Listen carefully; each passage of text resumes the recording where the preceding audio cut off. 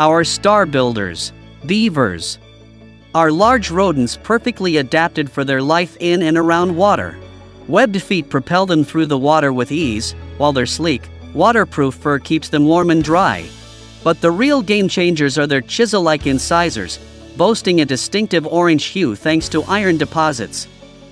These continuously growing teeth allow beavers to act as industrious architects, felling trees many times their size to create remarkable dams and lodges. Beavers rely on instinct and environment to find the perfect spot for their masterpiece. Slow moving water with plenty of vegetation provides a safe haven for raising young and a buffet to store for winter.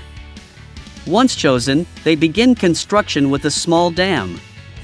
Working together, their powerful jaws fell trees, which are then dragged or floated to the dam site.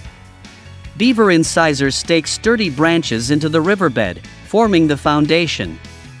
Smaller branches, twigs, leaves, and even mud are woven into the framework, creating a watertight barrier. Remarkably, they use their flat tails like a powerful trowel to plaster mud onto the structure, reinforcing its strength. These industrious creatures don't stop at a small dam. They gradually enlarge their creation with sticks, branches, and mud. The finished product is a true marvel of nature's engineering. A beaver lodge is an architectural wonder built for shelter and protection. The entrance, always underwater, keeps predators at bay. Multiple entrances allow for easy access and escape. The main chamber, located above water level, is lined with soft materials like bark, leaves, and grasses for insulation. Food caches are stored within the lodge or nearby for easy winter access. These impressive lodges can reach up to 6 meters in diameter and 3 meters in height, and are constantly being repaired and expanded by their residents. A single lodge can house a family group of up to 8 beavers, including adults and offspring.